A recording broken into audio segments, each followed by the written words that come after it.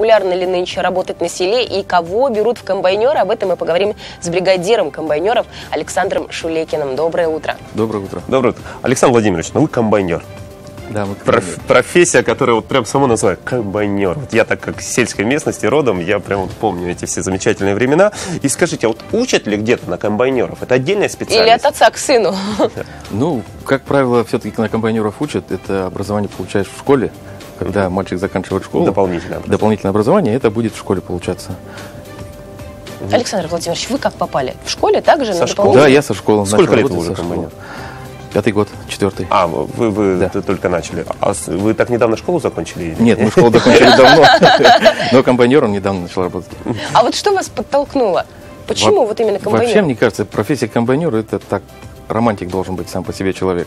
Это очень интересно и увлекательно.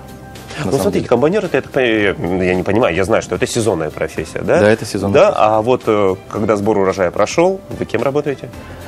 Водителем В- водителем. Да. да. Ну вот скажите, вот сейчас, вот, грубо говоря, сельские э, направления, ну не моды, да, люди хотят там журналистика, э, юриспруденция, менеджеры, э, вот, а вот на комбайнеров как-то не очень идут. И скажите, вообще есть нехватка специалистов, хотя вот перед вами был гость, говорил, у нас стопроцентно комбайнеров хватает, но вообще идет молодежь? идет, но неохотно. Как бы самое главное, чтобы специалисты были хорошими. Это вот тракторист нужен, он тоже должен быть специалистом. То есть вся техника сейчас компьютеризирована, приходится работать в таких условиях, что нужно быть грамотным человеком.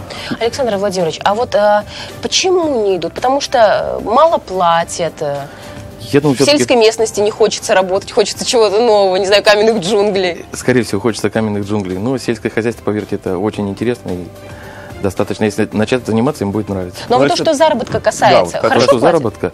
Да, в принципе, достойные зарплаты у трактористов, у механизаторов и у комбайнеров. 5-6 тысяч?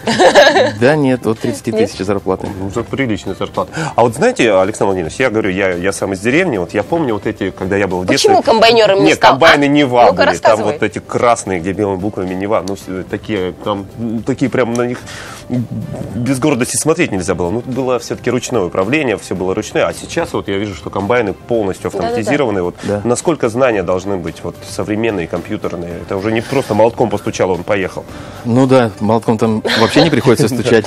А знания должны быть, ну, даже, можно сказать, высшее образование потребуется. Потому что компьютер, сопровождение, ну, Это все, все на, на плечах комбайнера, да? да, это все висит на плечах комбайнера. Ну, А а- вот какие культуры Да, вот хочется, собирают? что да, что собираете? заготавливают? Ячмень, пшеница, овес, зерновые культуры в основном на комбайнах. А вот еще с детства я вот эти, помнишь, фильмы про комбайнеров, вот эти советские, где там даешь пятилетку в три года, там с, с утра до утра, там вот они круглосуточно собирались. Сколько вот рабочий день во время вот в пик работы, в пик сбора урожая? Все зависит от погоды. Рабочий день у комбайнера очень длинный. Заканчивается он порой Он перетекает в утро, да? практически В утром, рабочее утро. Ну, а вот у нас написано, что вы бригадир, а, да? Сколько у вас в бригаде? 10 комбайнеров, 10 комбайнов. А есть сейчас какие-то вот соревнования, как там переходящие Это естественный здоровый азарт у каждого комбайнера, как бы Да? это А было а что- всегда. А, ну это кто больше соберет? Да, это кто больше соберет урожая. И, и что дается? Какой-то на- нагрудный знак, почетный знак или это так? Денежная премия, наверное, это все дается. вознаграждается денежной премией, конечно. Какой тебе знак интересно. нагрудный? Ну и как у вас битва идет сейчас? Или у да, битва уже- идет. Битва идет. Ну, заканчиваем. Битва заканчивается, но все еще в процессе. Вы в лидирующих позициях? Да. А, Желаем вам удачи, желаем... Спасибо. А, а скажите, результат-то какой? Вот сколько центеров или как, сколько вам надо? Вот нам чем больше, тем лучше. Нет, нет, ну а вот А сейчас результат собрали у вас уже какой? на сегодняшний день? Урожай какой собрали на Да, сегодняшний да, день? вот ваша бригада, что вы... Наша бригада а, порядка 7 тысяч тонн. Вау. Вот. тысяч тонн, вот, вот А это- ты вот центнер, А я центнер. центнер. Ну что ж, Александр Владимирович, еще раз Спасибо. удачи вашей бригаде, денежной премии вам. Спасибо. Ну и чтобы люди шли э, работать к вам, на трактора, водителям, на комбайны. Удачи и хорошего завершения урожая. Он будет себя плохо вести, я его к вам отправлю. С удовольствием примем.